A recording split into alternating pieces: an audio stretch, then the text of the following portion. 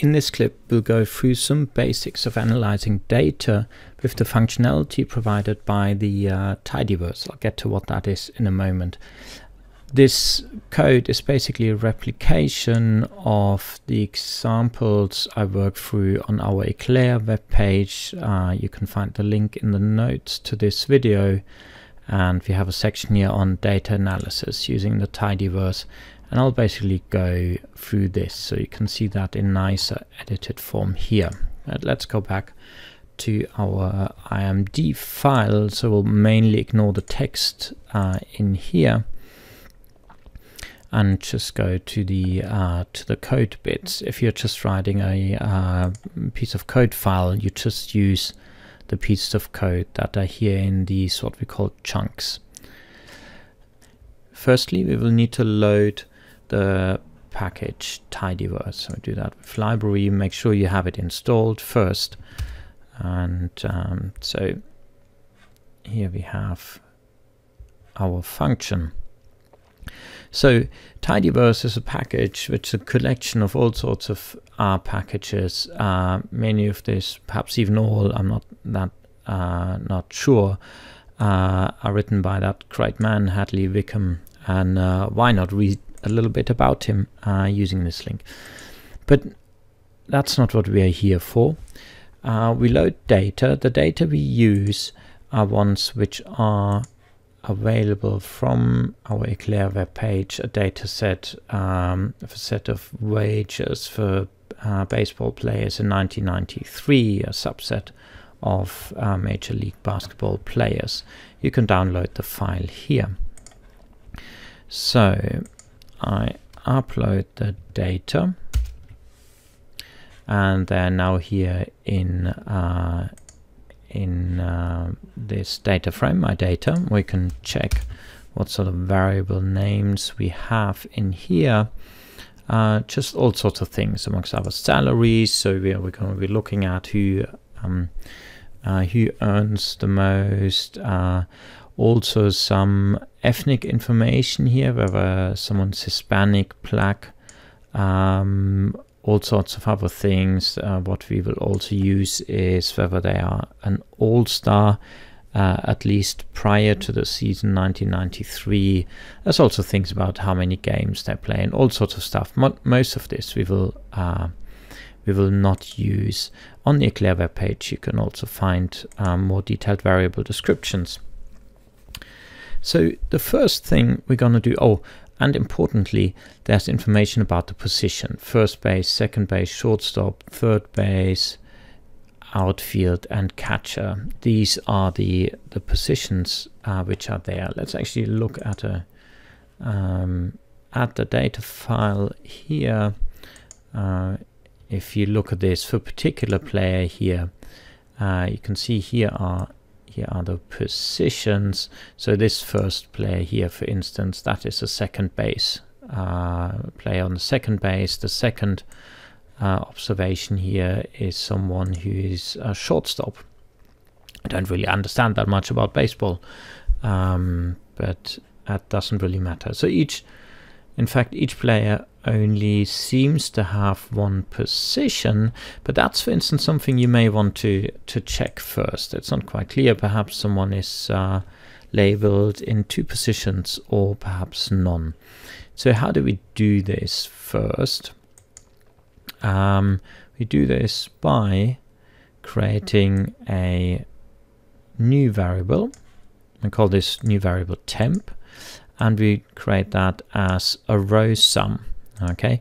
But of course not of all the columns in our data file but I'm only selecting the positional columns here okay? Only the co positional columns and I calculate the row sums. These are all numerical data zeros or ones.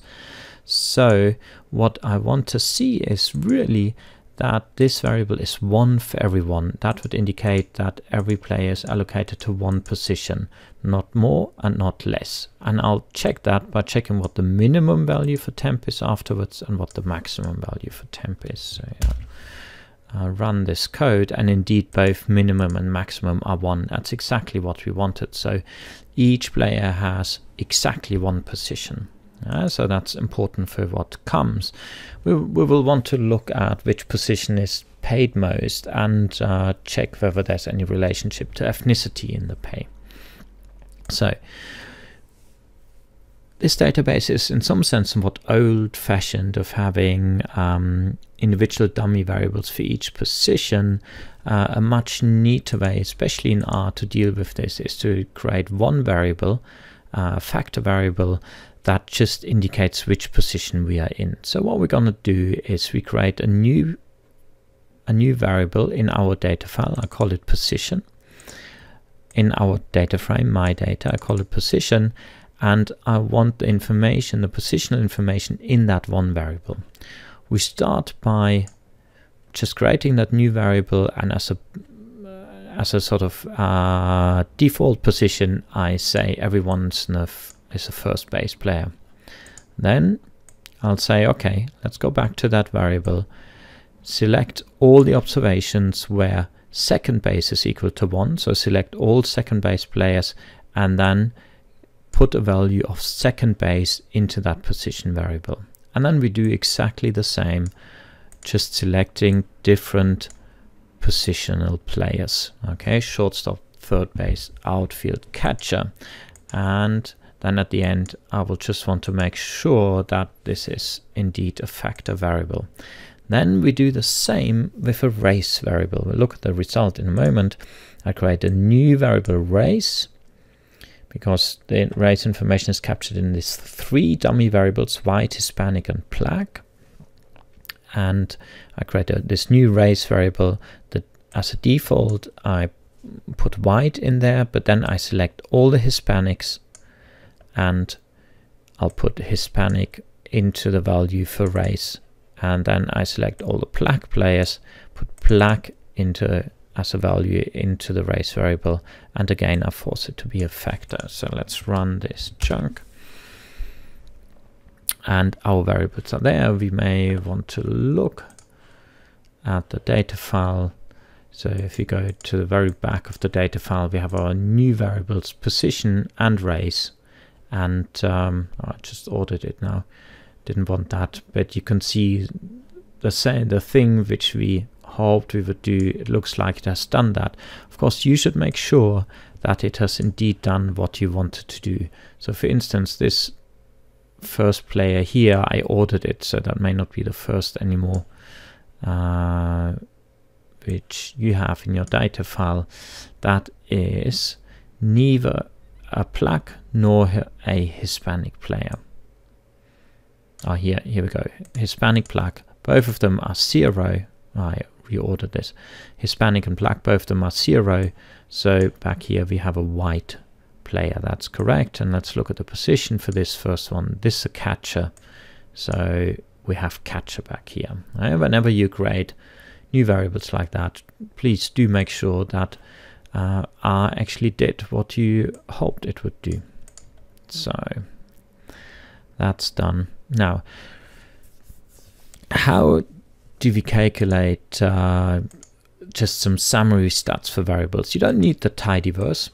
You could, for instance, uh, just use the summary function. Okay, for instance, my data salary and summary my data position. Let's run these two things and what we get and what we get here is the first part because that is a numerical variable we get some summary statistics. So that's the summary stats for salary. So there's our mean salary of 1,346,000. So that's a 93 even and it was a lucrative job.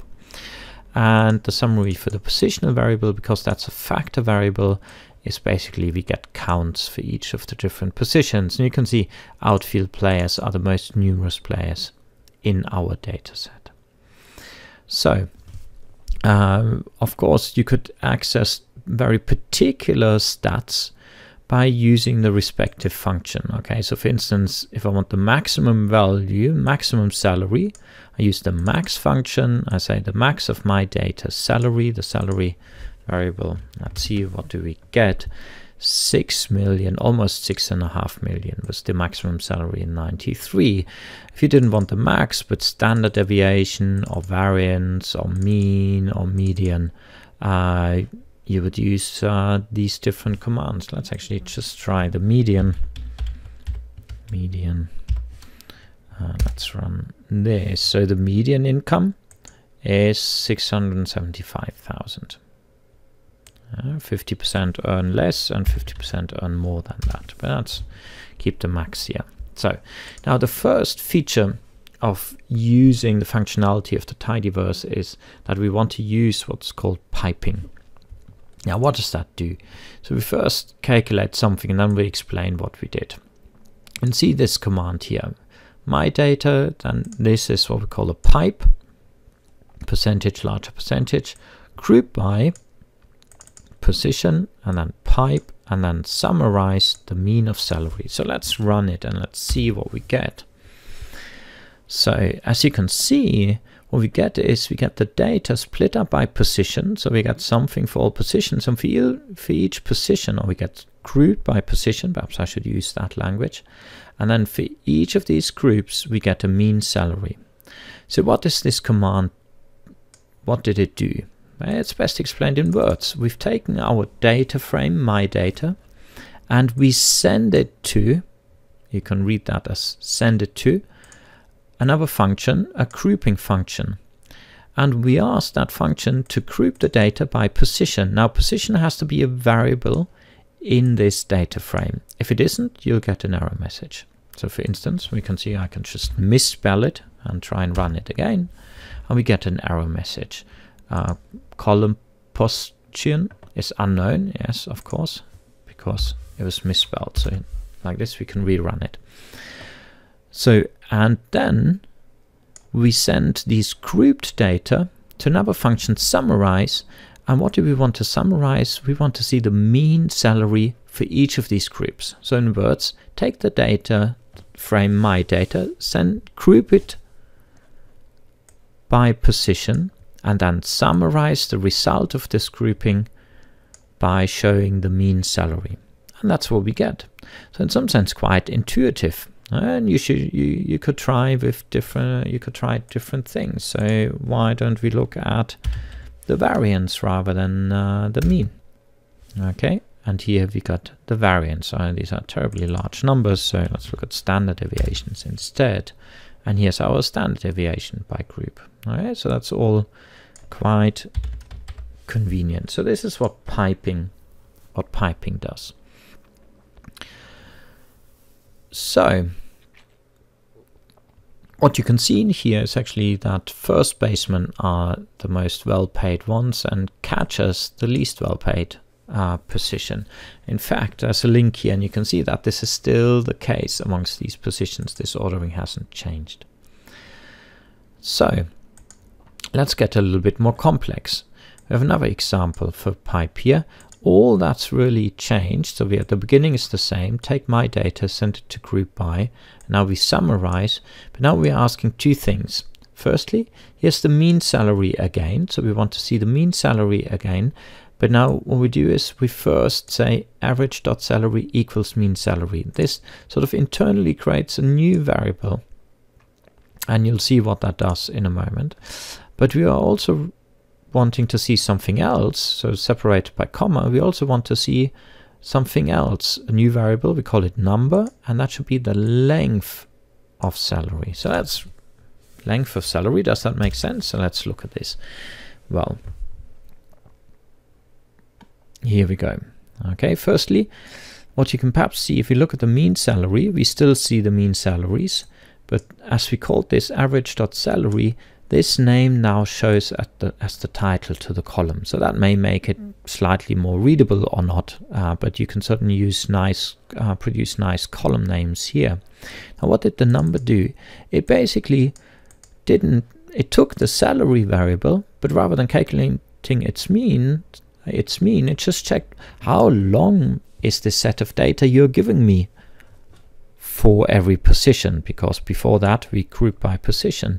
So in some sense, or exactly what we get here is the number of observations. So there were 52 catches in our data set and their average salary was about $900,000.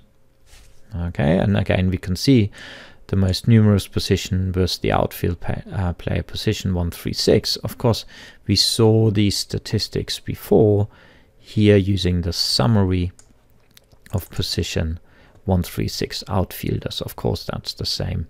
But now you can see that in a nice table, and it's always good when you have grouped statistics to know how many observations you have here. So one reason why that using the tidyverse to do data analysis is extremely nice is because you can do something like pivot tables if you were to use Excel.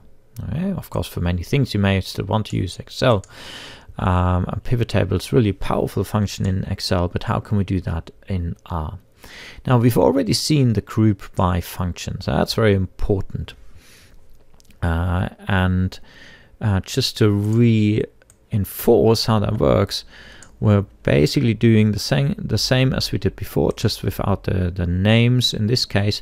But this time we are grouping um, not by uh, the position, but by black. What was black? That was the dummy variable or the binary variable that told us whether a player was of black if ethnicity or not. Okay, so what happens if we do this? I know we already created a race variable, we get to that in a moment. Okay, so we're basically now seeing a black. We either have a 0 or 1 outcome, 108 players in the data set for black, 245 for non-black, and you can see that, uh, well, blacks earn on average more than non-blacks. Uh, perhaps on first instance, someone surprisingly knowing that, of course, there's the um, everything else being equal, um, employees in the US possibly still earn less, and certainly in 1993 did so everything else being equal. So what about the third type, apart from whites and blacks, the third type of um, ethnicity was Hispanics. So let's just group by Hispanics, same, otherwise same command. So here you can see that we have 64 Hispanics. Their average salary is smaller than everyone else's. So here under 289, which are not Hispanic, they're either white or black at least uh, according to the data file, and they earn more than the Hispanics. Okay, so his, Hispanics earn uh, quite little. So we have these three uh, groups, and they're all encoded uh, in our new race variable. So actually, let's a group by race. And here we can see 108 blacks, 64 Hispanics, 181 whites, and still it's the case that blacks on average earn the most, a bit more than 1.5 million, whites 1.3 million about, and Hispanics 1 million on average. So perhaps that's still slightly surprising, but of course we know that by just reporting summary statistics like these, we have to be very careful because there, there will be other factors that are hiding important differentiation between behind these groups, important factors that are relevant for uh, the salary. So the next important function in the tidyverse we want to learn is the filter function.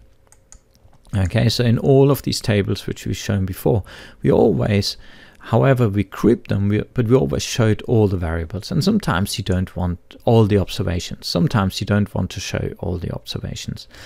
So for instance, we have this variable all-star uh, in uh, in our data set. And there's also a variable called uh, years all-star. That's the number of years someone has been an all-star by the season 1993. So if someone has an entry of zero here, they're at that stage not an all-star player. So here we have a line command. Let's read this before we look at it and see whether we can predict what the outcome should be. We're sending the MyData data frame to a filter function. And we want to filter by function years all-star and we only want those observations where that value is zero. So we only want non-all star players. Then we send the result and we send it to the group by function and we then want to group by position and then we send that result and we want to summarize And what you want to see in our sum in our summarized table, we want to see again the number of observations and the average salary. So let's run this. So our table looks very much like a table we had before with number and average salary, but the observation shouldn't be the same because now we should have filtered out all all-star players or sort of filtered in all non-all-star players. Uh, that's what we did here. All players with zero years as all-stars. So let's look at catcher at the catcher position. Here we have 42. If we compare this to the above number, that 42 should be smaller than the number of catchers we had before. So let's see catchers, we had 52. Okay, so it means in our data set are 10 all-star catchers and 42 non-all-star catchers. Of course, you could run exactly the same just to filter in all all-star players, so those where the years as all-stars is larger than zero. Let's do that here. We can compare the two tables and clearly you can see that being an all-star is associated to having higher salaries. Okay, so here's the, the 10 all-star catchers, their average salary is a bit over 2 million, whereas the non-all-star catchers on average earn about 600,000. Again, if you've done any sort of statistics, you know, whoa, whoa, whoa, whoa, whoa, just because we have this correlation between whether you're an all-star and the salary doesn't mean that this is the reason why you earn higher salaries. Okay, and of course, you'll possibly understand that you only get become an all-star because you're a good player, and it's if you're a good player or very good player, that's because you get a good salary. That by itself doesn't mean that there isn't a, some sort of premium for also being an all-star. Maybe extra marketing benefits you could capitalize on as a player. Um, but we can't say that from this analysis. So another useful tool in uh, your new tidyverse toolbox is the arrange function.